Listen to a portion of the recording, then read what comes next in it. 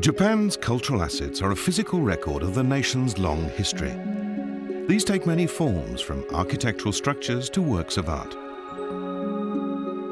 Major items like national treasures and important cultural properties have been carefully preserved, sometimes even locked away out of view.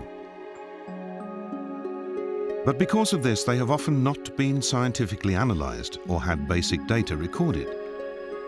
Over the course of centuries, it's impossible to avoid some damage and deterioration occurring. So in order to ensure the accuracy of future restoration work, we need to make scientifically precise records of their present condition. With these records, we can restore cultural assets to their present state. The ancient capital of Kyoto is home to many cultural properties.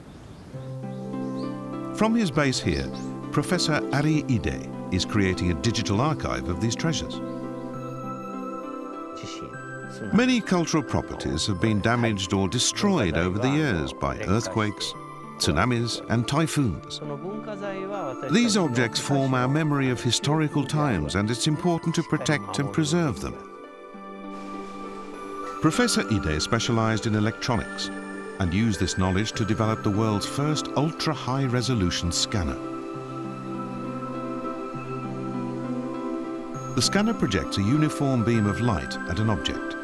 The reflected light is picked up by sensors and converted into a digital image.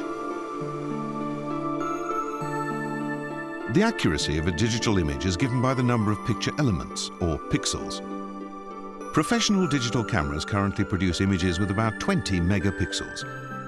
Professor Ide's scanner is 900 times more accurate at 18 gigapixels. The scanner was used to capture the painting on this 3.6 meter wide screen. Zooming in, we can clearly see the faces on tiny figures that are just 5 millimeters high. This major temple dates back to the 12th century. Professor Ide is leading a project to scan one of its most treasured folding screens.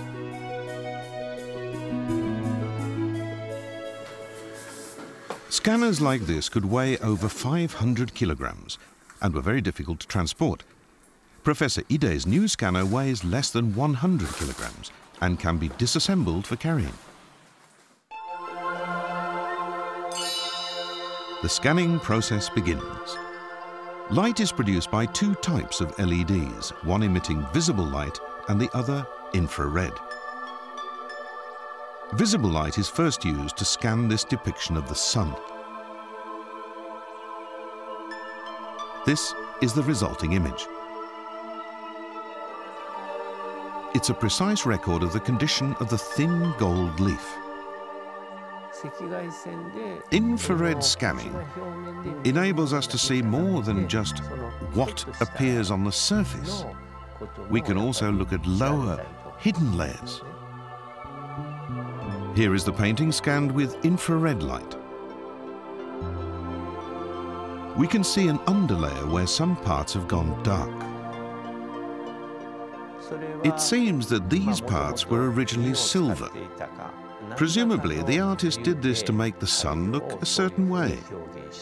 Many such mysterious techniques were used in the making of this screen. This scanner records not just the colors and shapes we can see, but also those concealed beneath them.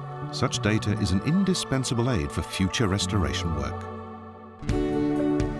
Professor Ide realized his technology had applications beyond creating a digital archive. At the World Heritage Site of Ninnaji Temple, Professor Ide has scanned its famous Kannon-do Hall murals to produce a virtual reality experience. The Kannon-do has always been closed to the public, but through the magic of this technology, we can now take a vividly realistic virtual tour.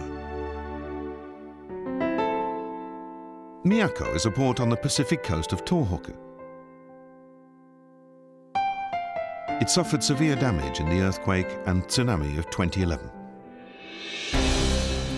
Professor Ide's device was used to scan this detailed map of the region from 150 years ago.